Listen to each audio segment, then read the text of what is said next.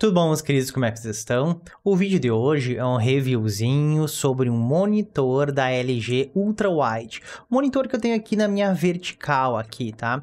Durante muitos anos usei esse monitor, na verdade, esse monitor da LG Ultra Wide, eu comprei ele para utilizar no modo DeX. Sim, pessoal, no modo DeX, tá? Eu usei durante mais de um ano só o modo DeX, para quem não conhece, dá uma olhadinha embaixo na descrição do canal, tá? Então usei os celular como um computador? Sim, isso é possível. Tu quer saber como? Então tu olha aí embaixo na descrição desse vídeo, tá? Eu usei esse monitor, na verdade eu comprei ele para usar no modo DeX, porque antes eu tinha um monitor portátil, o qual eu tenho ali em cima e tá guardado, tá? Um monitorzinho da Tibal de 15 polegadas. Mas esse monitor ultra wide eu usei durante muito tempo, na verdade mais de um ano só ele, tá? Bem como o modo DeX, tá? E que eu ainda continuo usando em sala de aula. Mas a gente não veio aqui para falar do modo DeX, né? A gente veio para falar um pouquinho desse monitor. Depois eu vou colocar um videozinho para vocês sobre ele ele, tá? Ele é um monitor no qual ele é de 25 polegadas, ele é ultra wide, tá?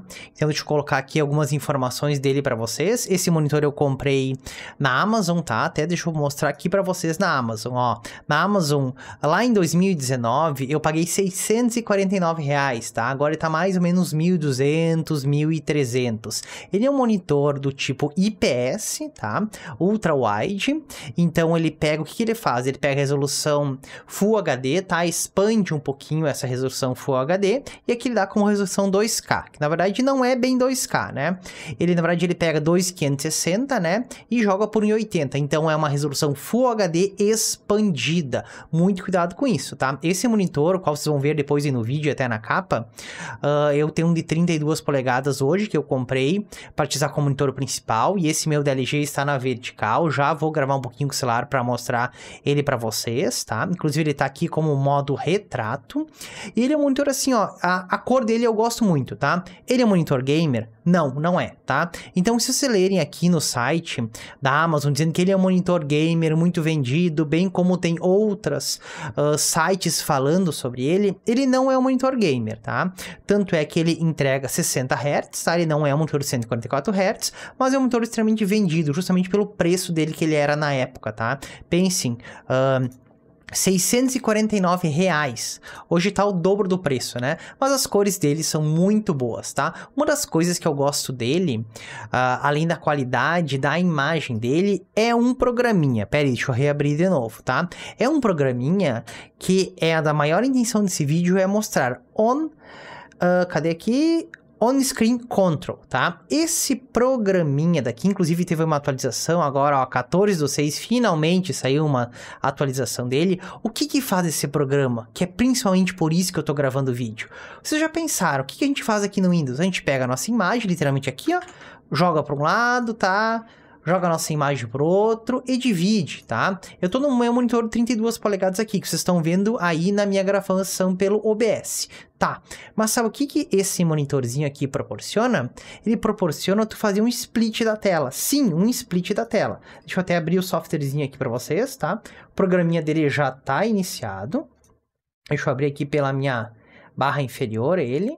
Deixa eu dar um aqui, ó. E aqui eu tenho as tipos de seleções. Deixa eu diminuir tudo aqui na minha tela para vocês verem. Olhem só. Opa, cliquei errado ali de novo, né? Ó, clicando em cima dele, eu tenho ali, ó, seleção de monitor. Só funciona com alguns modelos da LG. Então dá uma olhadinha se teu monitor é compatível, instala e vê. Aí eu digo a orientação dele. O meu tá virado 270 graus, então controle a orientação. Ele tem o Screen Split. Esse que é o pontinho interessante. Como que eu vou dividir o monitor? Deixar ele em tela cheia, só uma imagem. Deixar uma barrinha separada, tá? Deixar meio a meio, como eu deixei no meu caso. Separar em três partes, três partes na na vertical, tá? Em quatro partes, e assim eu vou distribuindo. Inclusive alguns picture in picture, né? Que de um modo acabam ajudando bastante, né? Agora eu vou gravar pro celular com vocês para mostrar. Eu vou jogar os programas pro lado, tá? Deixa eu ativar aqui, tá? Deixar tudo aberto aí, ó, e eu vou pegar e vou jogar os programas pro lado. Deixa eu pegar aqui para vocês verem que é realmente desse monitor. Deixa eu ir um pouquinho aqui para trás, tá? Então só a gente vai perder um pouquinho o áudio ali, ó. Ó, a gente pega a nossa telinha, simplesmente vai lá e ó, arrasta para um lado, tá? Arrasta para o outro. Então aqui, ó, eu tenho uma distribuição dupla, tá? Um em cima, um embaixo. Se eu quiser, eu posso simplesmente ir lá no programa, deixa eu voltar lá na nossa tela, tá? Vou deixar os dois ativos aqui, tá, pessoal? Ó, vou lá na cadê? Screen Split, tá? E vou deixar em três partes, ó. Ficou três partes na vertical, né? Como vocês estão vendo aí. Deixa eu separar em outra parte. Tá? Vamos dar um split de novo lá nele. A gente pode deixar, por exemplo, assim, tá? Ó, fica duas partes menores e uma parte maior lá em cima. Então, para quem utiliza ele aí para trabalho, para quem utiliza eu como monitor secundário, eu utilizo muito para as minhas aulas, ajuda muito, muito, muito, tá, pessoal? O que eu não gosto é literalmente quando a gente vai, tá? Deixa eu pausar meu vídeo aqui no celular. Uh, o que eu não gosto Deixa eu voltar para a câmera também, né? Que fica mais fácil, né? O que eu não gosto dele é, às vezes, quando a gente dá um Alt Tab, tá? Às vezes, quando a gente dá o Alt Tab, simplesmente a nossa imagem, ela é jogada pro monitor secundário e para uma das duas telinhas logo quando tu abre o monitor, tá? Isso eu não gosto muito, porque eu uso muito Alt Tab. Então tem que cuidar aí. Se vocês usam dois monitores, como eu, e ficar dando, usando muito Alt Tab, seguidamente ele vai pegar a janela de vocês e vai jogar para outra janela, por uma dessas duas distribuições. Isso é uma coisa extremamente chata, tá?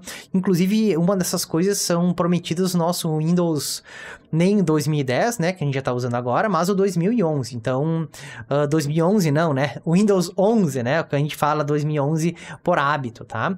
Então era isso aí, pessoal. Inclusive tinha alguém aí no canal perguntando que monitor é esse que eu utilizava, que tá um vídeo mais antigo, tá?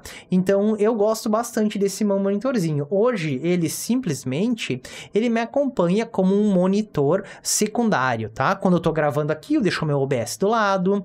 Quando eu tô dando a minha aula, eu deixo deixo o vídeo dos meus alunos do lado, que eu posso ver o aluno, vejo no meu slide principal a minha apresentação, tá? Faço alguns compartilhamentos com algumas coisas, tá? Então isso ajuda bastante, principalmente na produtividade, né? Quando tu vai editar, fazer alguma coisa. E como eu disse, a telinha dele, ele é IPS, então ajuda muito. Mas o que eu mais queria falar para vocês é sobre essa funçãozinha do on-screen control, tá? Que tem principalmente, além de poder controlar, eu vou deixar esse link aqui para vocês, tá? Para vocês baixarem lá uh, e poderem controlar toda essa parte de split dele, usar picture in picture, tá? Ele tem algumas outras funçõezinhas ali dentro dele, uh, modo jogo, tá? Mas nada assim, ó, que vocês vão ganhar FPS, tá, pessoal? Vocês não vão ganhar FPS com isso. Mas então aqui fica a minha o meu review, na verdade, bem sincero sobre esse monitor. E para quem quiser saber mais, aproveita aí e coloca nos comentários.